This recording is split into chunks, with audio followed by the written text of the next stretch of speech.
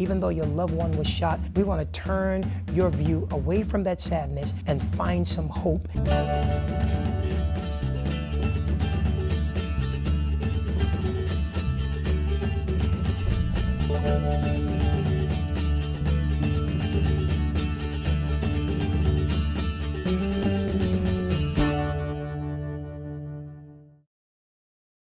Welcome to Faith Chicago. I'm Debbie Frazier. Today we're going to talk about the trauma that violence causes and how one Chicago pastor is combating it using a model birth in the country of Israel. Illinois Comptroller Susana Mendoza also visited Israel recently, and she has been a champion of Pastor Chris Harris's efforts to serve victims of trauma here in Chicago. Since its establishment as a state in 1948, Israel has been under attack by its Arab neighbors for much of the last 69 years. In border towns, which are most vulnerable to rocket and mortar fire, bomb shelters are everywhere. In fact, in 2014, Jerry Rose, our chairman of the board, was in Israel reporting from one of the regions near Gaza during an attack. Uh, we're in the uh, Ashkelon region, um, and it's a, it's a very important region for uh, all of Israel. For example, just down the road is the second largest Intel manufacturer in the world. Uh, but it's also one of the most vulnerable areas because we're only about seven to eight miles from the border uh, of, of uh, Gaza. And as a matter of fact, you. exposed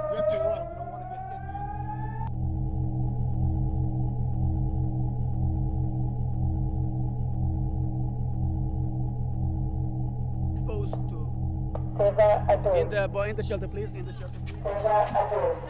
Please, in the. Okay, we're headed to another shelter. In the U.S., we aren't running from bombs sent over by a neighboring community. But when Pastor Chris Harris of Bright Star Church in Chicago visited Israel in 2012, he immediately made the connection that the trauma from violence experienced by the residents in his community of Bronzeville was not that different from the trauma experienced by Israelis. He determined to use the hard won experience of the Israeli people to help his community. Thank you both for being with us today. Thanks for having Thank you us. for having Let's us. start by thanks for having us. talking about your trips to Israel. Well, as a matter of fact, uh, my first visit came after conversations at length with Pastor Harris, who's a dear friend of mine, as to his experiences with his visits to Israel. And um, so I've spoken to so many people who have had the the blessing of being able to go there and experience the country firsthand, and uh, was obviously something that I wanted to do at some point. Um, and I had the opportunity to do this this past April with a group of 18 women, fabulous women from across the country, all in leadership leadership positions. Perhaps we may have had some preconceived notions beforehand, just hearing different stories, seeing what you see in the media, uh, and then actually physically being there and seeing how progressive of a country it is, but also the history, which is so rich and so tragic at times that you start to realize that that trip for me was in fact somewhat life changing and um, altered many of my perceptions on who the Jewish people really even are. Yeah, for me, you know, it's been pretty amazing. And one of the reasons we had so many conversations about it is as a child, I always heard about Israel. Uh, now, as a pastor, you know, I'm always teaching and preaching about Israel. And what's amazing to me, I was always intrigued um, by this small little place surrounded by so many enemies. And I always wanted to know how is it that they survive? And many times I would listen to people like um, Pastor Hagee, who always preach and teach about Israel. And so it, that's the thing that will always get me on the edge of my chair when I'm watching television or watching him preach. And so I had the privilege to be able to go on an educational trip through um, the AEIF uh, in December of 2012. And then I had the privilege to go again in February of 2016. And then this year, had the opportunity to go the third time. So it's an amazing trip, and I would encourage anybody to go.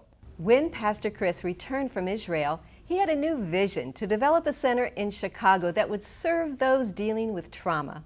When we come back, we'll talk about how many in the Chicago community, including Mayor Rahm Emanuel, rallied around him to see his vision become a reality. That's coming up after the break.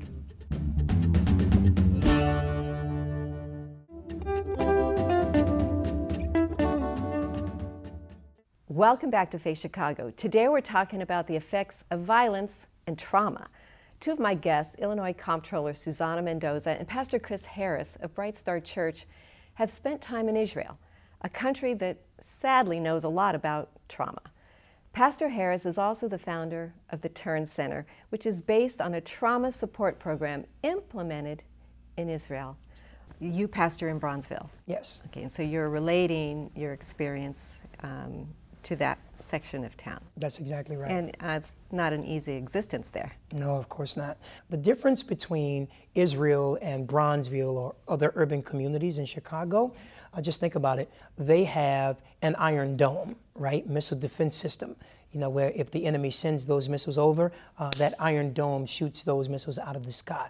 Uh, but unfortunately, in African American community or Hispanic community, urban communities where violence is an issue and trauma is prevalent, we don't have an iron dome. So we have to get together and work together and become an iron dome with you have solutions. a lot of sirens. Absolutely.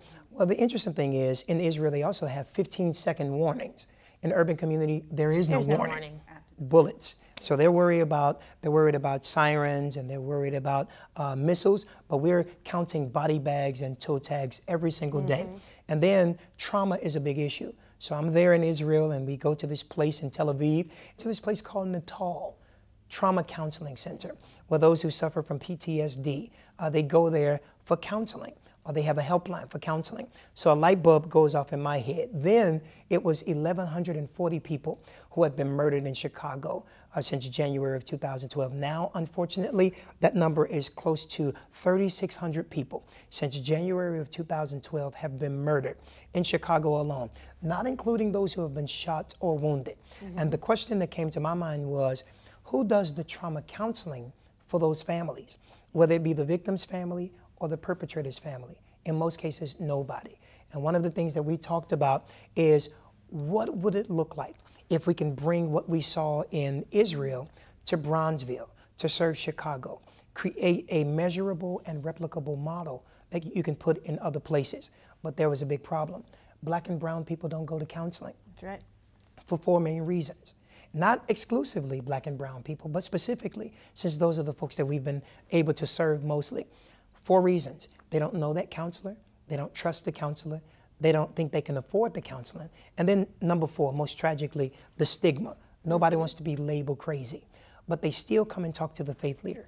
So in Israel, the Lord said to me, I want you to identify, train, and certify faith leaders and community leaders who have influence to provide trauma counseling based on the Israeli model. And it's been a wonderful ride ever since then.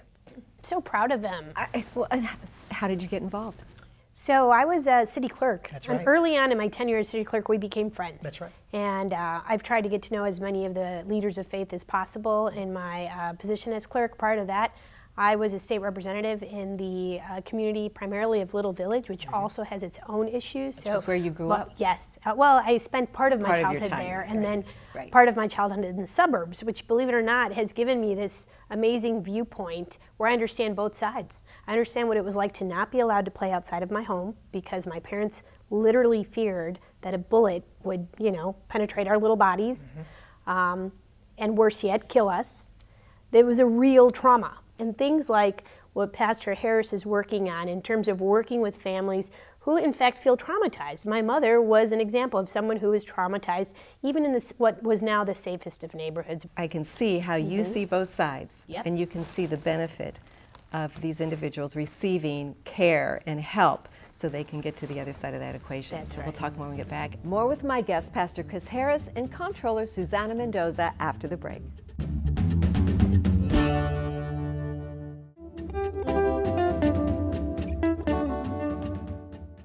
Welcome back. I'm talking with Pastor Chris Harris and Illinois Comptroller Susana Mendoza about violence and trauma. Pastor Harris is the founder of the Turn Center, which stands for the Urban Resilience Network. So thrilled that you brought this to the city of Chicago.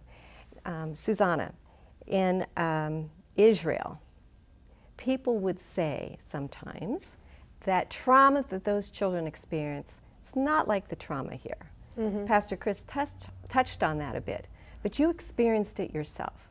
Yes, but it's it's it's different, but it's still trauma nonetheless. I mean, that the actual physical attack per se might be somewhat different. You know, it's a bomb versus a gunshot, or it's um, it's the fear that that bomb might hit you. They actually there are studies out there that show that people who actually survived a direct hit uh, go on to have less trauma. I know this sounds crazy than people who weren't. Uh, they almost get this air of invincibility mm-hmm. sometimes, mm-hmm. right? Uh, versus people who came close to the hit, who are really super traumatized. Um, and and it, it doesn't seem to make sense that that would be the case. You think you'd fear for the rest of your life if you experience something that horrible.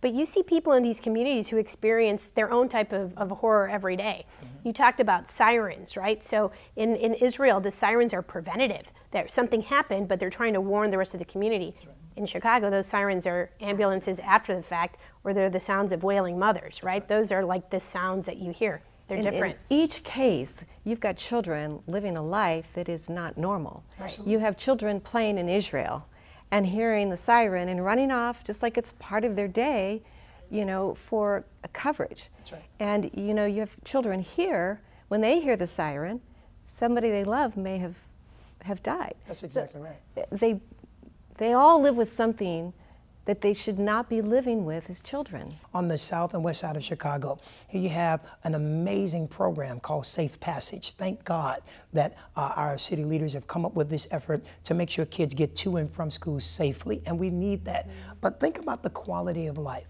Why do we need adults to stand on the street just to make sure that kids get safely to school? What message does that send to the young people? Yes, it provides safety. Yes, it provides employment for adults, and that's amazing. But what would it be like to live in a city where you don't have to worry about any violence or any trauma? So it affects the quality of life. I wanted to add that is it not true that in communities like yours, in the community that I lived in, um, you almost get numb to the gunshot sounds. That's right. That's like, right. you know, if, if you hear those same sounds, in Lincoln Park, That's you're right. thinking it's fireworks. That's Somebody shooting off a firework. That's right. On the other hand, in these communities, because I lived it myself, and when I graduated college, I moved back to Little Village and mm-hmm. spent 17 years of my life there in a beautiful community. But you hear the pop, pop, pop, mm-hmm. and it's just like, okay, well, thankfully it didn't come into my house. But you're you're thinking this is happening, and it's it's not even shocking anymore. People are used to it and they're numb to it, and that is a problem in and of itself. Mm-hmm. And while the sirens are all day long, the trauma for many folks in the community is lifelong. That's right. And Good that's point. really unfortunate. And so uh, th- there's something called vicarious trauma. There's even research that talks about the fact that trauma that our grandparents have gone through affects us even now.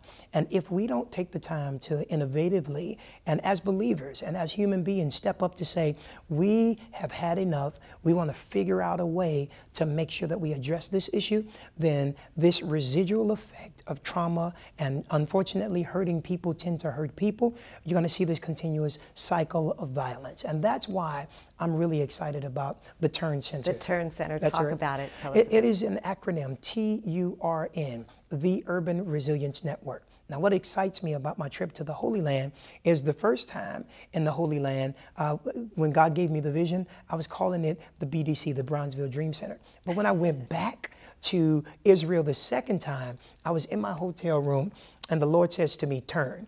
Well, don't forget, I'm a brother from the hood, so you tell me to turn, I'm going to look around. and so I start looking around. The Lord says, No, go and define the word turn. And so I go and look up the definition.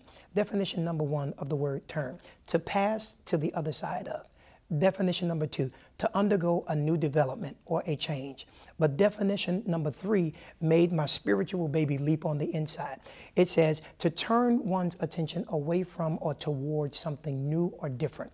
And that's exactly what we're doing through this trauma counseling through faith and community leaders. And I'm really excited about that because even though your child passed away, even though your loved one was shot, we want to turn your view away from that sadness and find some hope and build some resilience in each and every individual. It's not just the trauma helpline that folks can call and have somebody to talk to, but we also have trained ambassadors who go throughout the community to schools and community based organizations or events in the community mm-hmm. and help make sure our community is trauma informed. What's really sad is a lot of people don't even know that they're facing trauma. We say things like, oh, it is what it is. or, or mm-hmm. I'll get over it, and people who are insensitive. Exactly. They're used to that lifestyle. But we want to make sure that they know what it is, build resilience in them, and give them an opportunity to combat what the enemy would use to take them to a lower level. No, we're not going for that. We're building God's people up. Okay, so I have experienced trauma, mm-hmm. and I think I need help. Yep. How do I get help? You can call our helpline. It's 833 turn 123. It's really that simple. Pick up that phone, have some courage. And the reason we started with the helpline based on this Israeli model is because the professionals in Israel came over three times to Chicago. Thank God for our friends. Uh, the mayor came to Bright Star and said, Pastor Harris, what are you working on? And I told him what I was working on. He got excited, introduced me to Dean Harrison president and CEO of Northwestern Hospital. Mm-hmm. They sold the seed money to $250,000 to say we want to be a part of this. Reached out to my friends over at the University of Chicago. They said we want to match it, $250,000. Brought our friends to the table the United Way because we wanted fiscal management, we wanted evaluation as well as replication. They came in and been a part of this plan. Now Cigna is becoming a strategic partner. And then I reached out to my friends at the city. When I told Susana Mendoza about this, she said, We've got to do this. And ever since then, she's been on a tour telling everybody what's going on. The same with Senator Dick Durbin. And people are saying there is a helpline available. There are trained ambassadors that are available. And we're excited about it. That's confidential. Right. That's right. It's confidential. You can call, and that's what we wanted to do. Make sure people know that there is a safe place for them to call or come to. And we call that the Turn Center. What do you see the results are being? Well, I think it's important to, first of all, acknowledge that while what he's doing is so the morally correct thing to do, it's also the fiscally sound one. Yeah. Right? This is what people tend to forget when they think about programs that are seeking to help people, whether it's a social service program or a provider. Oh, you know, where can we cut in a budget? Boom, let's cut there. Right? It's the worst and the last place that we should be cutting. All of these folks, this center, this turn center, the idea behind it is to change people's lives for the better. Right. I believe that when you have a heartbeat, for the most part, mm-hmm. right, I like to think people are redeemable. Right. And so to just ignore that these problems, like to not actually try to find a comprehensive solution, which Turn is a part of that comprehensive solution.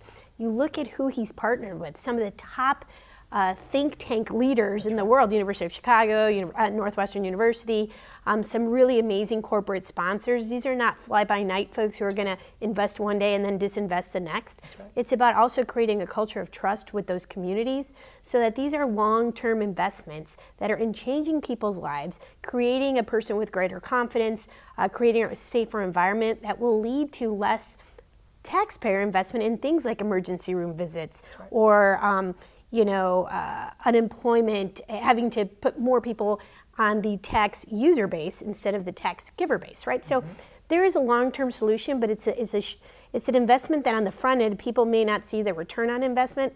But I believe that if our neighborhoods, the city neighborhoods who often feel uh, that they've been ignored or that the resources aren't there for them, if they start to believe that they will be and that they choose to not accept the unacceptable. Mm-hmm. Right? This is a key thing that they need to believe themselves that they are worthy of having the best life possible. They deserve it and that they can work with it and there will people that will work with them to try to little by little get there.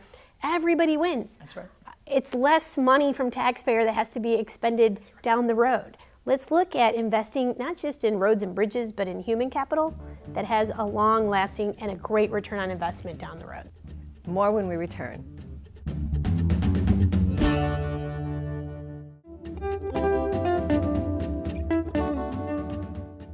Welcome back. My guests today beautifully represent the church and the state. Pastor Chris Harris is the senior pastor of Bright Star Church located in Bronzeville. He's also the founder of the Turn Center, which offers trauma counseling among other programs. Illinois Comptroller Susana Mendoza knows all about the personal and financial toll violence and trauma take on the residents of Illinois. She's a strong supporter of Pastor Harris and the Turn Center. Pastor, what are the greatest challenges ahead for the Turn Center? Well, I think a couple of things. Number one, visibility. right? We need our partners to tell everybody what's going on. That's why I'm grateful um, to our comptroller because everywhere she goes, she's talking about the Turn Center. I'm excited and grateful for Senator Dick Durbin, who's on this tour across America saying, Have you heard about the Turn Center? And a lot of people don't realize the visibility is what we really, really need to let people know that this is available. The second thing is partnerships and funding because we don't want to depend on uh, government grants. We don't want to depend on um, political figures because if the government grant runs out, if the political figure is voted out, then guess what? That need to serve that community is still there.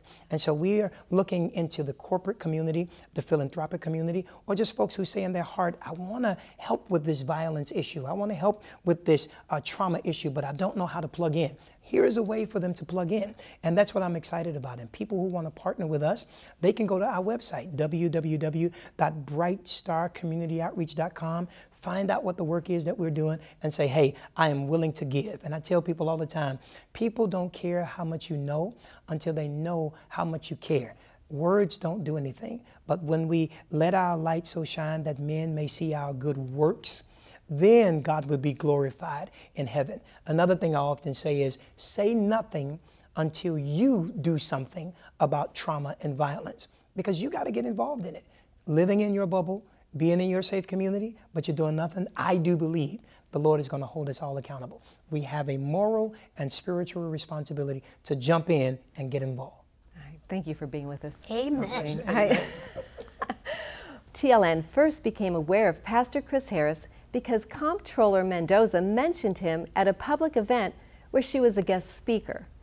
And today she came a long way to join him on our program to support what he's doing.